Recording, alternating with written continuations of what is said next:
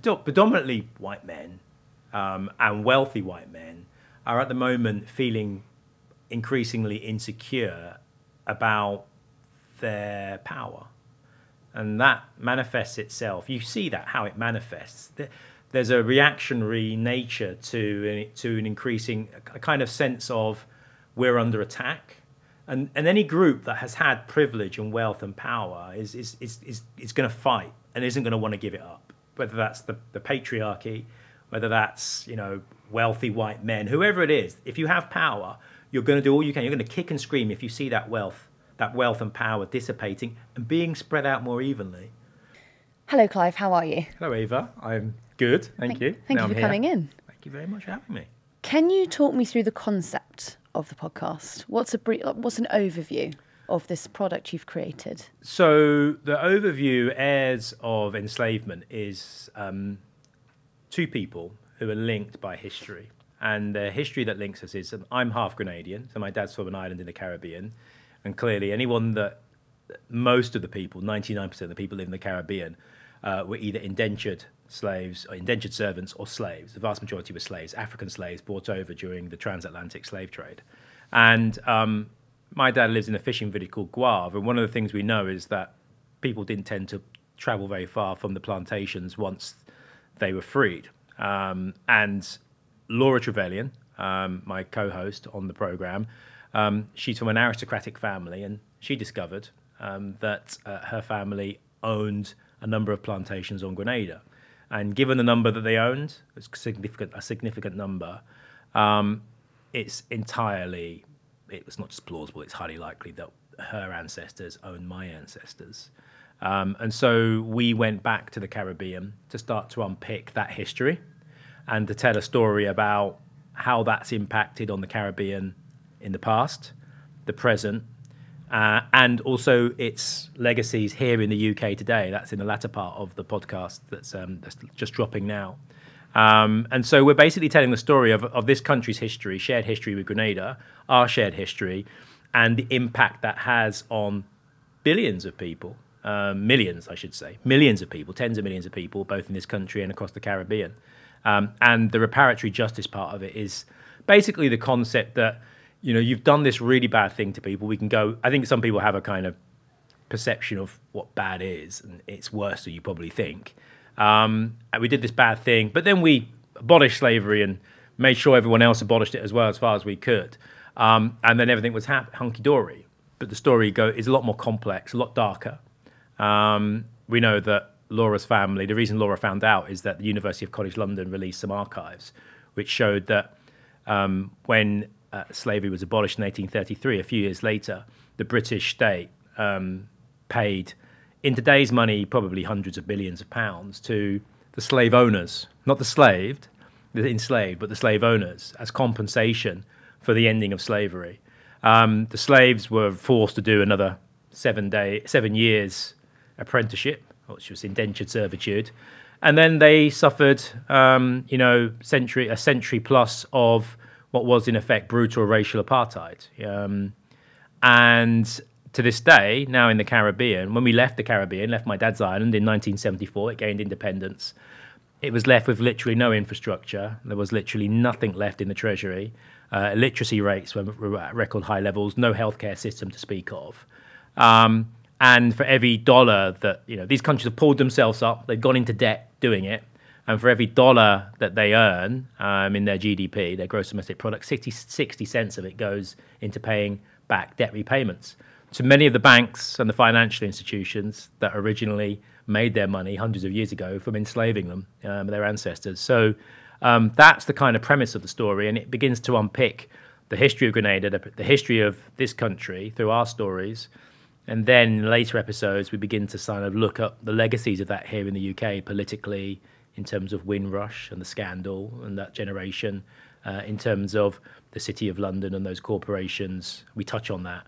Um, and in terms of our attitudes towards immigration and race generally. Mm-hmm. And it's a it's an untold kind of chapter of this of this country's history. It's a really important one because until you come to terms with it, you can't really go forward. There's a trauma, and you have to kind of face traumas down. Um, it's not about making anyone feel guilty or um, bad. That's not what it's about some people do when they hear it, but you can't blame people today for what's happened in the past. But you can hold individuals and institutions accountable for the legacies which are continued today, and and that is part of the story. What was your relationship like with Laura while you were working on it? Um, good. It was really good. Um, you know, Laura is um, a formidable individual. She was, a, you know, got to the top of her game in the BBC, um, and she is, you know, she's a minor aristocrat, I suppose. Although she doesn't have a title, she comes from an aristocratic, aristocratic family. Um, the Trevelyan's, you know, if you know your history, you'll know that the modern civil service was set up by someone called uh, well, the Trevelyan Northcote Reforms, where the basically the uh, the foundation of the modern uh, civil service, and, and he introduced the exams. Basically, stopped it from being a corrupt organisation that allowed those who could afford it to push their oldest or second son into the, the civil service, and made it a meritocratic organisation institution. Um, They've got historians. They've got secretaries of state in the first Labour government under Ramsay MacDonald. Um, they're a very accomplished family, and um, you know, once she discovered through those University College archives that the story they told themselves wasn't the story that she thought, and nor her, the rest of her family, and they were shocked by the fact that they had made such vast wealth from such a, a brutal part of our history. But this is a story of Britain um, and our, our, relationship was is good. We're friends, and um, we have a shared history. In fact, I know other people in her family now, other Trevelyan members, because it's been a group thing, um, a, a, family affair. She's met my dad. We went to the Caribbean to meet him um, and others. And um, I consider Laura a friend, and there's a shared history there. Uh, I don't hold her in any way responsible. In fact, quite the opposite. I think she and her family have been extremely brave in coming forward because it's something they could quite happily have turned the other way from and buried. You know, when you have dark family secrets, you know, often people, rather than face them down or, or air them in public, they, they kind of bury them. Mm. And they didn't. Um, and I think it's been cathartic for them. I can't speak for Laura, but I can see the journey she's been on. Been on and I think it's been cathartic. And um, but it is troubling for them. It is a troubling legacy because they understand that so much of what they have, the, the cultural capital we were talking about before, um, that confidence that many of them have, that air of um, of being able to achieve anything. It's some, someone from a working class background, such as myself. I look at it and I'm in awe. Even though I'm a member of parliament, there's a sense of accomplishment and a sense of I can do anything I put my mind to. Now, I was told that by my dad. I was very fortunate. But there's one thing being told it believing a fraction of it. But it's another thing kind of knowing it in your very being, which I think, I, I hope Laura wouldn't find that offensive, but that's an observation I've made by being around Laura and some of her family. And there's now an organization called Heirs of Enslavement, which is people who've gone onto the, the database, the UCL database, and discovered that they too um, receive compensation. Um, and this was this was vast compensation. I mean, I, I, don't know how old you are, but there's a good chance that you may have been paying tax in 2015. I'm not sure, but if you were, you yeah. Mm, but uh, if you were paying, if you were any of your listeners were paying tax in 2015 before, you were paying off the debt to her family and all those others. So people say, "Oh, it's the his- it's the past, it's history. Forget it. It's nothing to do with today." Well, it does have something to do today. In fact, you know, a significant proportion, well, a, a proportion of the, of the tax that you pay was going off to service the debt that was, um, that was racked up by paying off a humongous amount of money to the slave owners, not the slaves, back in the 80, early 1830s. This was like, I think it was like something like half of all government spending for, for, for a year was, was, was basically spent on compensating the slave owners for the end, for the abolition of slavery and it's all been charted. And and this is you know, it, it, went to it went to a lot of people, and it was the kind of the kind of icing on the cake of hundreds of years of um, slavery and exploitation um, that topped it off. Didn't go to the slaves; it went to the slave owners, and we've been paying that off, you know, in our taxes. So um, you know, it's it's it tells a story about it tells a story about that, and it tells a story about the fact that there's now a growing demand in the Caribbean for what's called reparatory justice. Mm-hmm. And and that basically, you know, CARICOM, which is a kind of economic organization of these East Caribbean countries, um, have come together with this 10 point plan, which is to try and say to the British government, the French government, the Spanish government, the Portuguese government, the Dutch government's already paid up, um, the Danish government, all these European countries that powered their industrial revolution uh, with the vast profits that were made from the transatlantic slave trade. Um, it's, a, it's, a, it's basically saying to them, we need some help. We, we've been left with literally nothing. We're constantly in debt. We've pulled ourselves up, but we've had to go into so much debt to do that. And you know, a lot of people see the Caribbean as this kind of like you know palm trees, white beaches, turquoise the oceans. tourists. Yeah. There's still a bit of imperial, it kind of bit of still a bit of a kind of it's a kind of yeah, it's still a bit of an imperialism there. You know, Yeah. going there often to a hotel resort, spending your money with that corporation, and then you know, soaking up the sun, the sand, the sea, and then flying back to the UK. It continues and um, it's extractive. And there's a lot of poverty in the Caribbean. Um, and this is about A, an apology. And I always think the way I explain it is it's not just about money. It's not just about giving money to Caribbean governments or civil society. It's about saying, well, let's start with the apology. Right? Let's have the conversation about why we need the apology. Okay, so if you have the conversation, which is what this podcast is about, about why we need to have the apology, um, you can begin to look at what slavery was like. So you're taught a basic bit about slavery and the slave trade at school still, I think, and I was.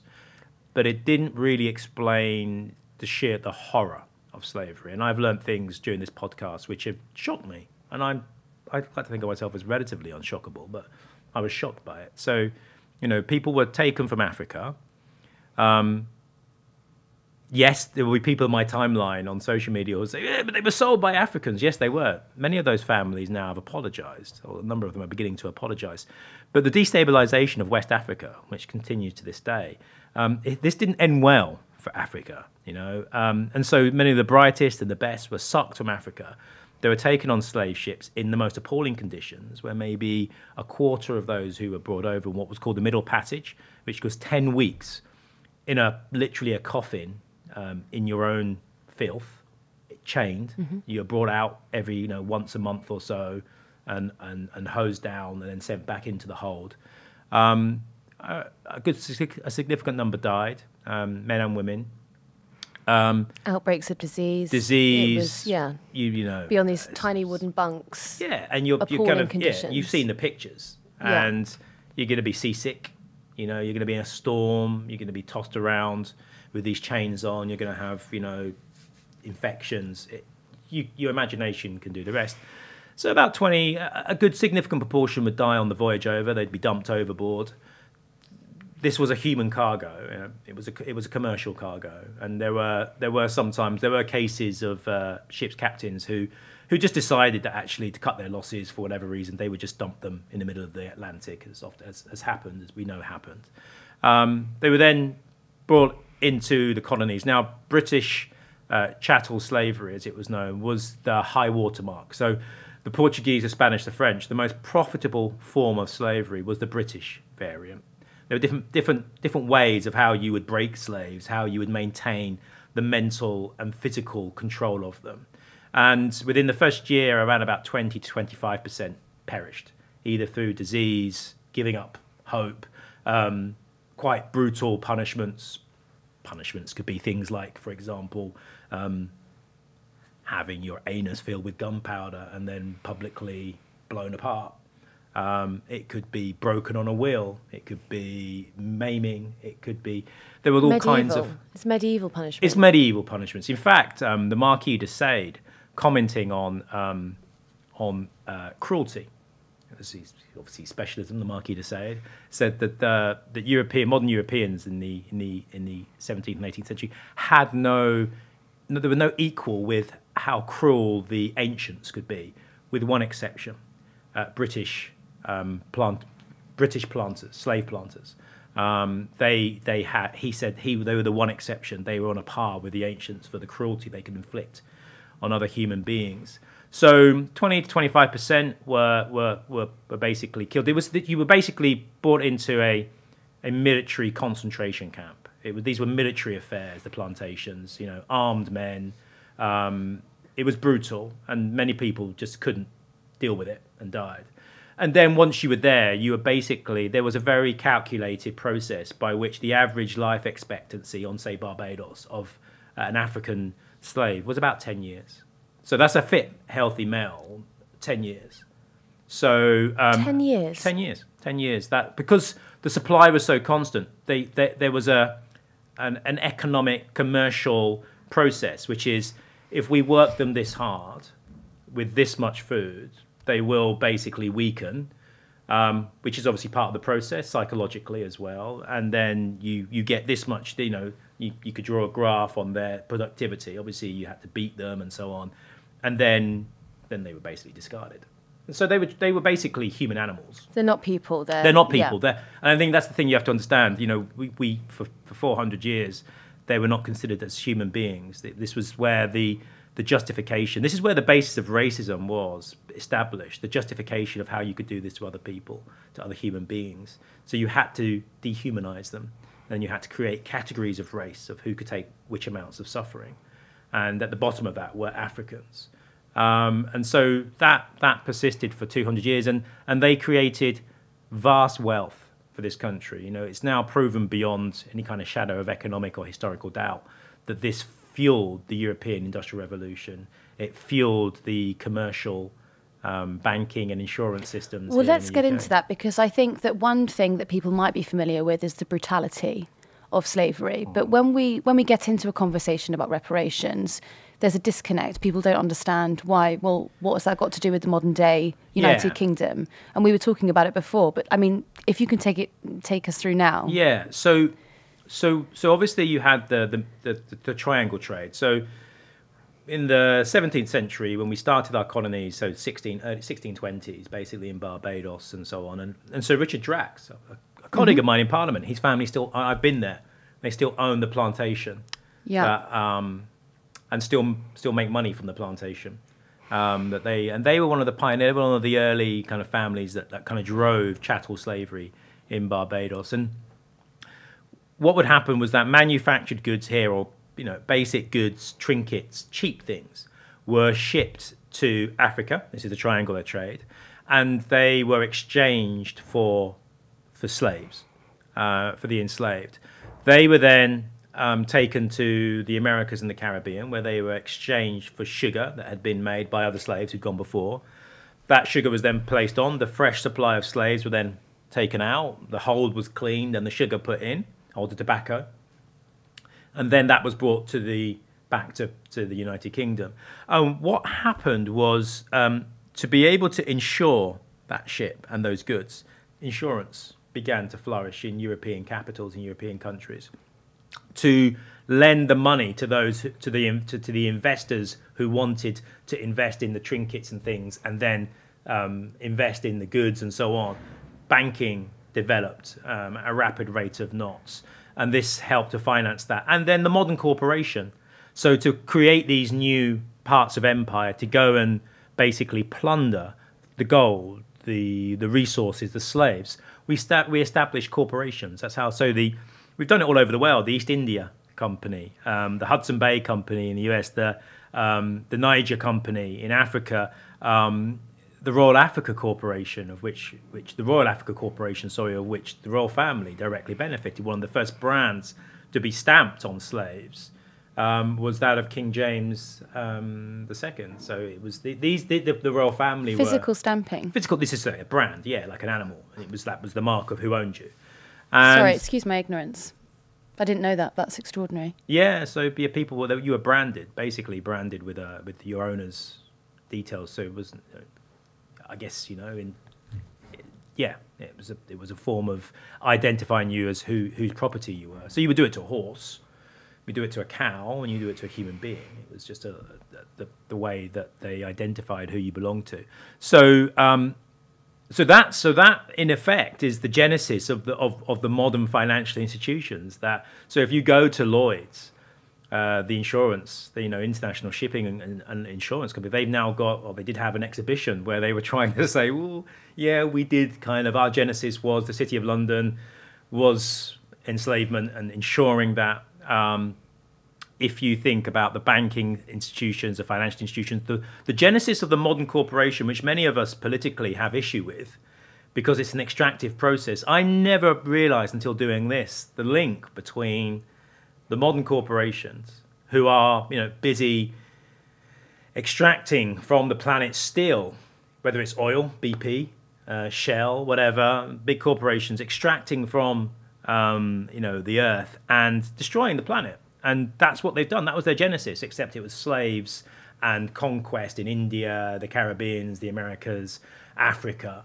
That's where the genesis of it came from. So people say, oh, you know, why are you going on about this? You know, what about Roman slavery? Uh, what about the, problem with that is, you know, if you can find me a bank or an insurance company that can directly trace the genesis of its wealth from Roman slavery, be my guest, but you're going to struggle.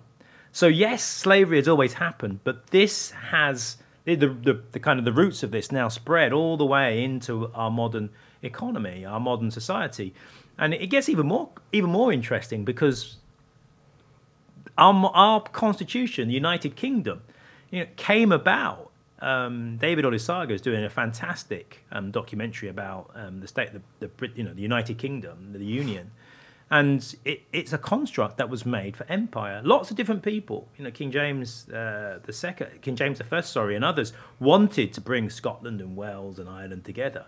But in the end, what brought the union together was the necessity for, I use the term, manpower. Uh, initially for Northern Ireland and what were called the plantations of Northern Ireland, um, where they hunted Irish Catholics like Fox. It, it, says, "Come over and do this." It was like a holiday brochure. You can see it. It's in the it's in the um, in the program. That was very James the First as well, wasn't it? very James. Yeah. I mean, obviously, he didn't have a great track record with women either. Uh, he mm. wrote the book on witchcraft. Um, but you know, this was a brutal period. Um, let's not forget that. But um, so so you know, the United Kingdom, uh, the construction of the United Kingdom was an imperial project.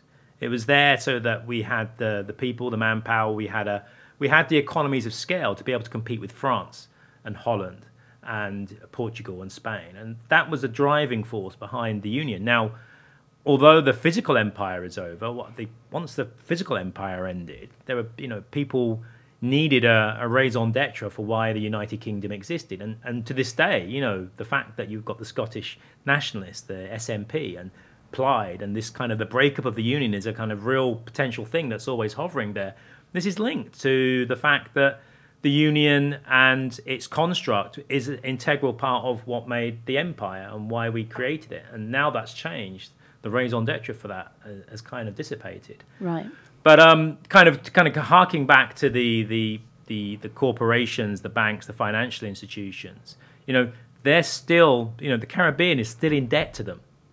And not only this, this is the kind of the, the kind of there's so many the kind of stories within stories so after the Second World War, when the British, you know, levels of uh, a lot of people had died in two world wars, we asked people to come to this country from the empire. We we kind of were hoping they'd come from Australia, Canada, Rhodesia, South Africa, New Zealand, but they also came from other parts like the Caribbean, and uh, that wasn't in the plan. And they came over and they helped to rebuild the NH- build the NHS and rebuild the country and then Windrush happened, mm-hmm. which was a scandal that they were being deported, um, and documents had been deliberately lost by the British government. Um, and that's why the compensation process, the scandal came out. But when you kind of understand the history of what had happened in the Caribbean, still happens. The reason they came over was there were no prospects.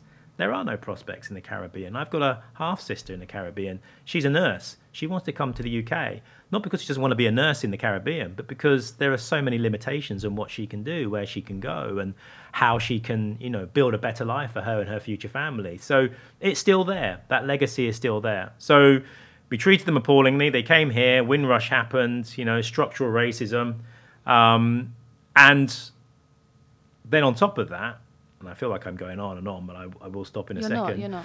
The Industrial Revolution, powered by slavery, um, gave us the industrial capacity to then colonize Africa, colonize India. Um, the brutal things that happened there, and they didn't stop in the 19th century. You know, the Mau Mau, um, the kind of the shame of what happened in Kenya, the Mau Mau, so-called Mau Mau uprising. You know, we were using techniques um, learnt from you know from torture techniques learned by the SS on on on people because they wanted to have their own country. Um, so you know.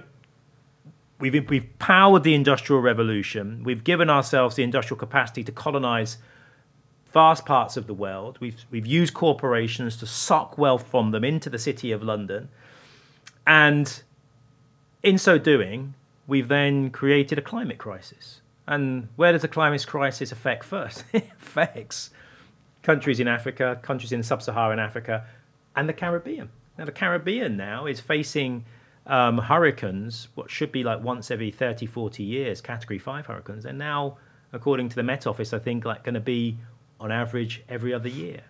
And these are economies that can barely, you know, can barely function as they are. Now the climate crisis is going to hit them disproportionately. So you couldn't make this up. So the reparatory justice kind of program is about saying, okay, all of this has happened. Let's first of all have that conversation. And let's think about why we need to apologize. Okay? And when you sit down with a partner, if you've had an argument with a partner, when you apologize, when you mean it, so you know when you apologize to your partner, you're like, oh, okay, I'm really sorry. I'm really, and you're like, they're like, no, you're not actually. You're not sorry. Yeah, yeah, I am sorry. I am. I am. I'm really sorry.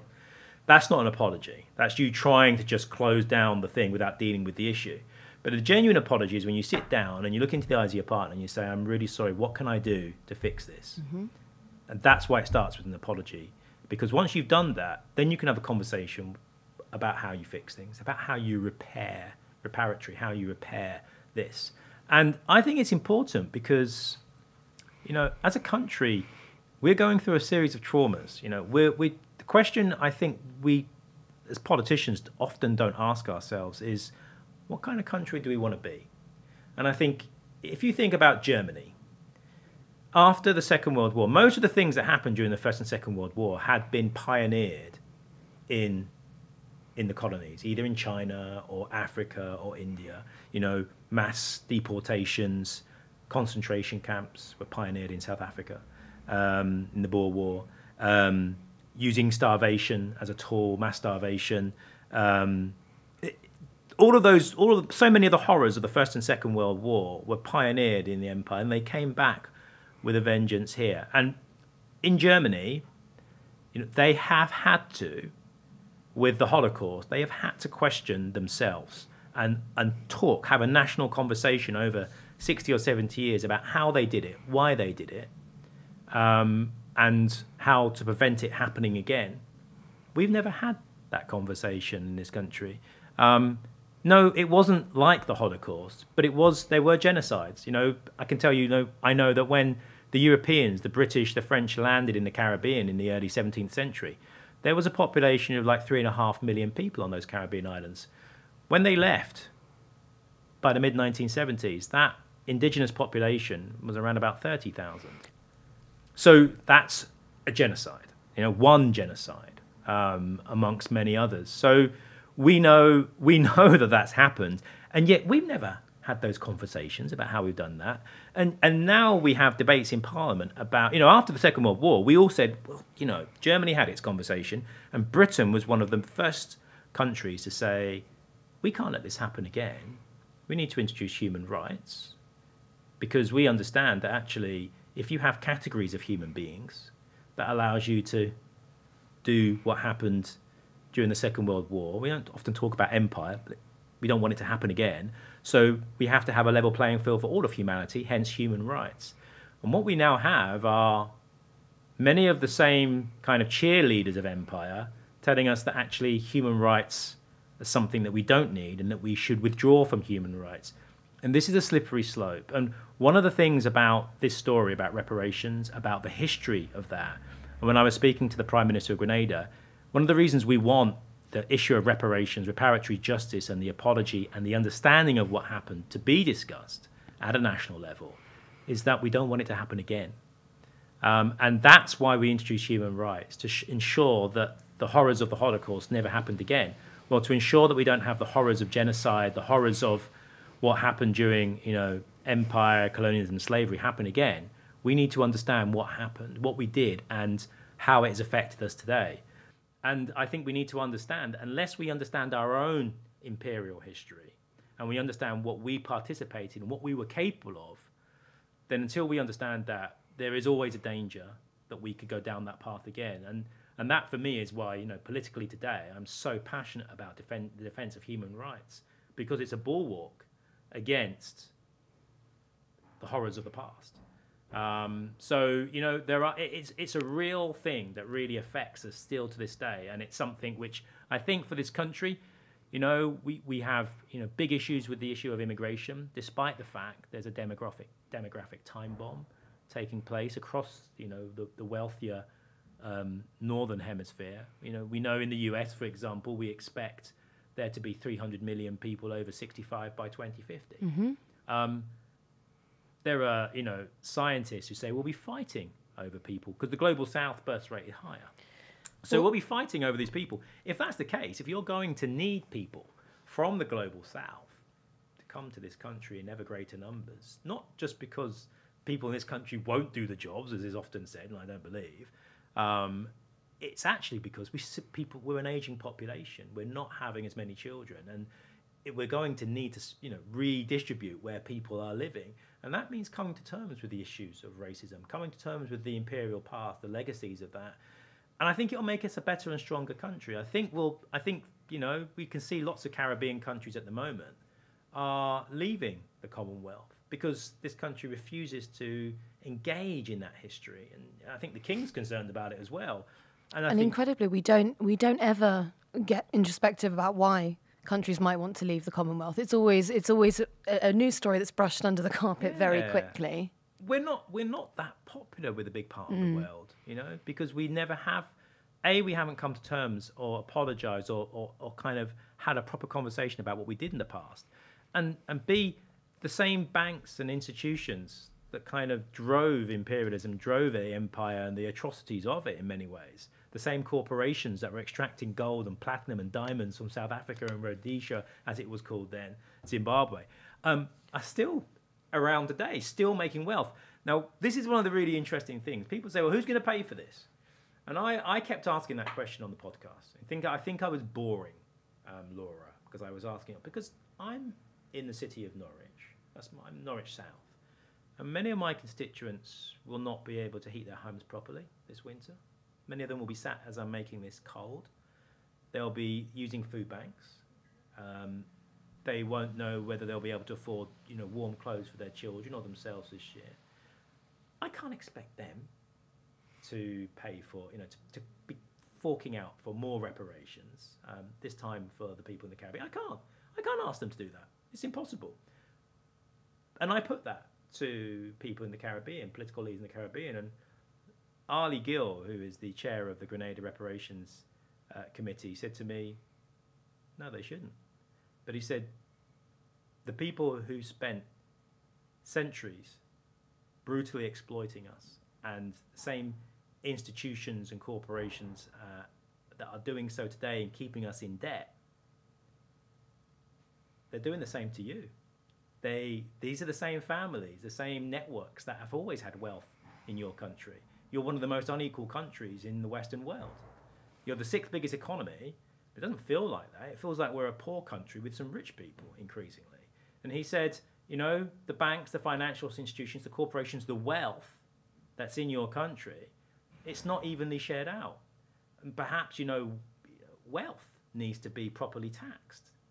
And I think that's a, it's a, it's a really important point that he's made. And it, you know, people listening to this will go, well, what is in this for me? And I think that's a fair question. What's in it is that once you understand who has wealth and who has power, why they have wealth and power, then it doesn't just colour the issue of reparations in the Caribbean, it also colours the issue of how you pay for the NHS, how you pay for public transport, how you pay for decent adult social care. It begins to answer that. It begins to answer how you have people living in proper, decent, affordable homes, um, rather than homes that are there. You know, we know we've got you know hundreds of thousands of homes in this country that are just speculative, um, where people come in and invest in properties, and so, so you begin to see how everything is linked together. And what is in our interest is in their interest, and what is in their interest is in most people's interest in this country. So that was a real direct connection that, that was made by the podcast in my mind.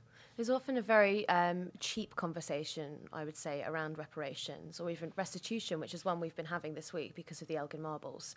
Um, and it quickly becomes a conversation about, well, we can't give this back because otherwise we'll have to give everything back, and that would be awful. And we, we're the only people in the world who know how to display something correctly in a museum, so we must keep it. Do you think that there's um, some kind of dark intention behind that sort of narrative? That I think that so you all know as a as a woman that um, men, predominantly white men, um, and wealthy white men, are at the moment feeling increasingly insecure about their power, and that manifests itself. You see that how it manifests. There's a reactionary nature to to an increasing a kind of sense of we're under attack and, and any group that has had privilege and wealth and power is, is, is, is, is going to fight and isn't going to want to give it up. Whether that's the, the patriarchy, whether that's, you know, wealthy white men, whoever it is, if you have power, you're going to do all you can. You're going to kick and scream if you see that wealth, that wealth and power dissipating and being spread out more evenly. And uh, I think those who say, you know, if you do this, where will it stop? Well, I mean, just on the example on the, the example of the Elgin marbles, I mean, the Ashanti tribe, which is a Ghanaian, a Ghanaian tribe, um, basically uh, wouldn't succumb to British uh, imperial rule in the 19th century under Queen Victoria. So the British sent what was called a punitive expedition, which is basically where you send ships up a river, or they did in this case. The soldiers get out and they basically destroy, burn, loot, and they brought back all the um, they had ancestor worship, and they brought back all these beautiful death masks of all these Ashanti kings. They're in the, they're in museums around London, and um, my understanding is that uh, they've been given back. But what Afri- the African country, what Ghana has said, my, this is my understanding. I've only heard this secondhand, is that we want them to be seen. So we're happy for you, as long as we have ownership of them. We're happy for those things to stay in London as because most we, museums operate, you know, as they as yeah. they operate. So you know, look, I think it's not beyond the ken of, uh, of of of museums in this country and of this government to say, you know, look, we we took these when we shouldn't have, and and it happened in the past, and you know that's what happened, and but we can write that now, and in many ways, it's so reflective of the um, reparatory justice issue. It's about saying something happened that was clearly wrong in the past. We're not responsible for what happened then, but we are responsible for what we do now. So let's come to a settlement. On the Elgin marbles, let's give ownership back to Greece. But let's say, you know, if we take this step towards you, what will you do? And so they will say, well, no, we'll make sure that where they're currently exhibited always gets a priority in terms of when they're moved around and so on. So I, I think it's context, isn't it, as well, isn't it? So when you're talking about displaying certain artifacts that might have been taken, and we might be displaying them here now, it's not about rewriting the history to say Britain feels incredibly guilty about doing this. It's about offering the visitor context around how they were acquired. You're you're so right, and and that that kind of leads us into kind of the Colston statue, which I mm. think is a is a classic case here. So the Colston statue, uh, kind of, uh, was an, he was a slaver, uh, made vast wealth um, in Bristol, and he, he then did charitable things with that money, and they put a statue up to him a century after he died. And uh, there are people who say you want to cancel our history. No, you can't. You can't undo history. He is a part of history, but you can have an honest conversation about him. And secondly, let's have an honest conversation about Cecil Rhodes. Let's have an honest conversation about Mr. Colston and all the others in our history. And then we can decide who we want to venerate who we want overseeing our public spaces and their statues. It might be that when we look at their lives in the context of the suffering, in the context of what they did, and balance that out with some of the good things they did, if they did them, we can make a decision whether this is the most appropriate person to have as a statue of veneration in our city or in this place, or to name a street after them. But let's have the conversation. And that doesn't mean that the thing then has to be destroyed. Put it in a museum. You know, he's a part of history. And let's have a, a contextual piece of history around him to say what he did. He enslaved people. This is what slavery was like. This is what it was like on the plantations. This is what it was like on the Middle Passage. This is the wealth that was created. This is where that wealth went. This is where that wealth now exists. But he also gave a fraction of that wealth to the city of Bristol for these good causes. There you go. You haven't cancelled the history, you haven't cancelled anyone, but you've told the story of Britain in all of its complexity. Um, and I, you know, I think I think that's a that's a more honest and truthful way to approach things, and it makes us allows us to understand who we are and who we want to be as a country. You know, acknowledging our past and allows us to kind of think about the present and what we want to do in the future. Um, it is complex. I, I, completely accept that. I mean, before I went on to a TV program once, um, someone said to me, "But Clive, a producer, was talking to me, but, but you do realise, you know, Britain, you know, you, you're talking about, you know, the empires if it's all bad." Britain built the railways in India. They built the railways in India. And that arguably gave India the, the leg up that it needed to industrialize uh, at the rate that it has and to lift, you know, millions of people out of poverty. And I said, I said, of course it did. But here's, this is why it's, this is why there are two sides to this story. Britain didn't build the railways in India for the benefit of the Indians and India. It built the railways to extract mm-hmm. vast wealth cotton, gold, spices. It sucked trillions. I mean, Indian Indian economists have estimated it's something like forty-seven trillion or forty-two trillion dollars or something. I don't even something. know what that. I don't know what that means. It's, it's, a, as, it's a, figure beyond yeah. kind of our comprehension, but it was vast wealth, and and and so yes, at this we can say Britain built the railways in India, which led to India industrializing and lifting millions of people out of poverty. That is true, but at the same time, it's also true that Britain did not build those railways in the interest of India. It built it in its own self interest to extract wealth from a colonial conquest. Now, um, yeah, well, that introduces the question of why why would you need to omit that piece of information? So, this is a so one of the things that happened at the end of, of, of the Second World War, with the breakup of the British Empire as it began to, to kind of dissolve, for some people, um, this was a, a, disaster.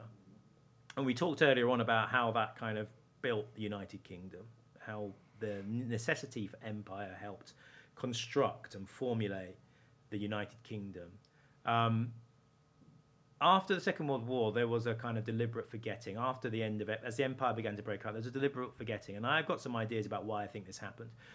There's a, a, a quite infamous or famous infamous politician, conservative politician called Enoch Powell, uh, who gave the, the, the River Tiber, the Rivers of Blood uh, speech, and he was a kind of open, ardent racist. Mm. Um, and you know, it had quite a resurgence in recent years. Oh yeah, I mean Nigel Farage was a big fan of his. You know, it's you know these are Nigel Farage is the inheritor of this tradition, and uh, in nineteen. 19, 48, he wrote in his, one of his diaries how he wandered the streets of London completely in a daze when he heard news that the uh, India, India was getting um, self rule, and it was going to be um, no longer part of the of the British Empire in 1948, and he couldn't he couldn't take it in. He worked there as a, as, intelli- as part of the intelligence network for the for the British in India, and he wandered the streets of London in shock and daze.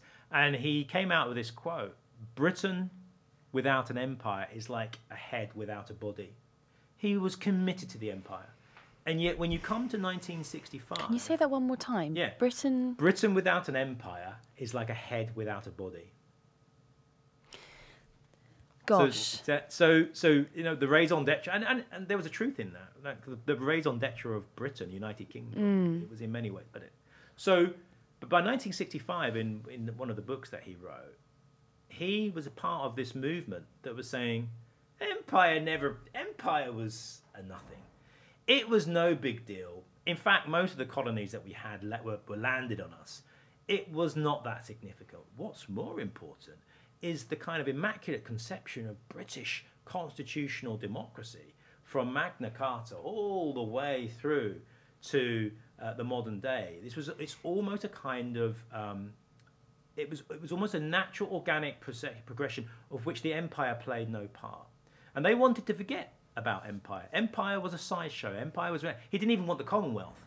So he went from in those 15 years and and that forgetting in the british of the british establishment political establishment of this country is part of what reparations and reparatory justice and having that conversation about it's about unpacking that why did they do it Well, It's politically convenient, right, to keep it. it's a crime scene. Yeah. It's, it, it, there is, in many ways, it's a crime scene. And what you've done, you realise in the post-war human rights world that you've helped, that your country's helped construct, the empire becomes very inconvenient, and that history becomes very inconvenient about the story you want to tell yourself. But also for another reason, because people in this country, they want to tell the story. Now, Enoch Powell was the first member of parliament to embrace what we call, what we would call Thatcherism, neoliberalism, because he saw what it was about. Whilst we were giving up the physical occupation of empire, we were going to use those corporations, uh, that banking and those financial institutions, and the codified international system of property law and who owns what. We were going to use that to maintain the extractive capacity. This is why Margaret Thatcher so enshrined the City of London. It, it was always the, the jewel in the crown, so to speak. And what he understood was that that those those the IMF, those neoliberal institutions, would enable Britain, the West, to continue through those corporations as they'd always done, to continue and banking institutions, financial institutions, to continue to suck wealth into this country.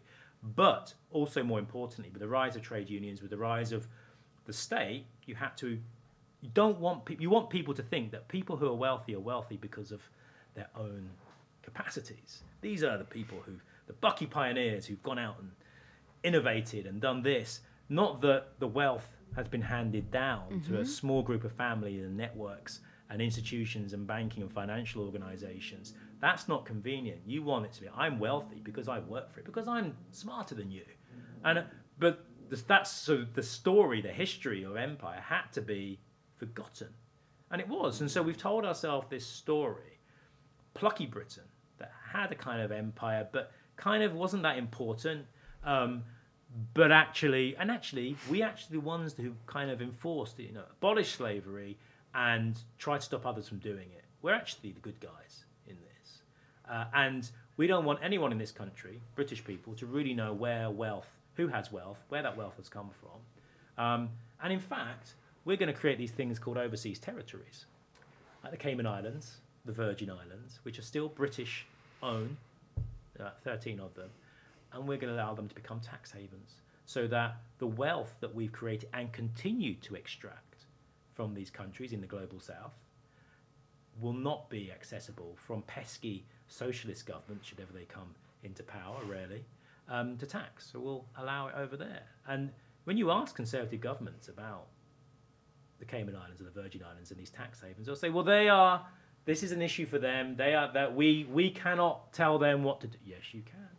They're British overseas territories. So threaded throughout our economy are the remnants of empire, of wealth, and even now in demo- our so-called democracy, our ability to be able to to get to that wealth. So um, I mean, it, I mean, the more you unpick, the more you uncover, the more you begin to realise why it would be convenient to forget about empire why it would be convenient to forget about where those sources of wealth and who has wealth and why they have it. Uh, and that's part of that history. And it's a guy called um, Kojo Koram. He's a professor mm-hmm. um, at, uh, where is he a professor? He's at University College London as well, I think. And he's written a book called Boomerang um, Uncommon Wealth. And he's got this concept basically that the outsourcing, the corporate structures, the banks, the financial institutions, they were used to kind of create this empire, to extract from this empire. But they've now come back to the UK, and now the Sercos, the Barclays, the Lloyds, the extra- that, that extractive component of them is now back here in the UK and extracting from uh, the social fabric of our economy, the public sector. You know, they're increasingly outsourcing to them.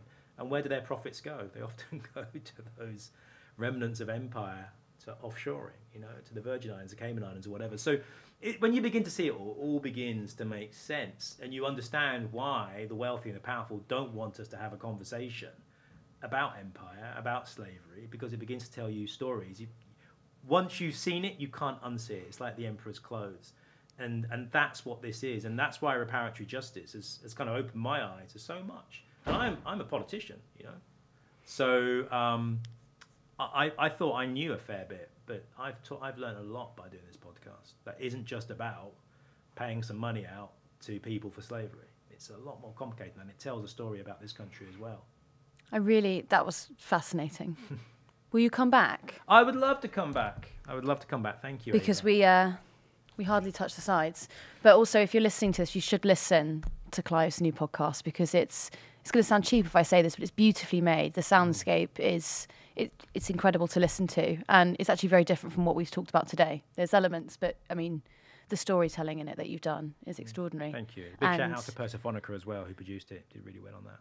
Great. Where can they find it? You can find it on all good podcasting platforms, so Apple Podcasts, uh, Spotify. If you go to, if you look for Heirs of Enslavement, don't do what I did. I was looking for A I R S. The first time I did it, yes, I know. Um, it's H E I R S, Heirs of Enslavement, and if you type that in, Google it, you'll find um, that on most um, most podcast platforms. Hmm. And if you're watching on YouTube, it'll be in the bio. Thank you. Ava. Great. Thank you very much. Thank you.